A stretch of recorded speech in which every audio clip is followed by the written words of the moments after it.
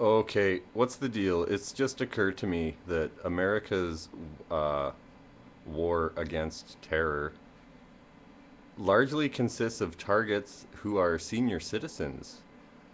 Uh, anyone with me on this? Like Bin Laden is in his 70s. Hussein, certainly no spring chicken.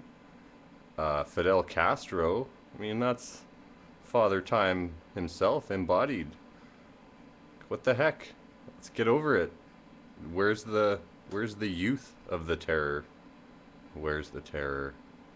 Or is it that there's no statute of limitations on terrorism?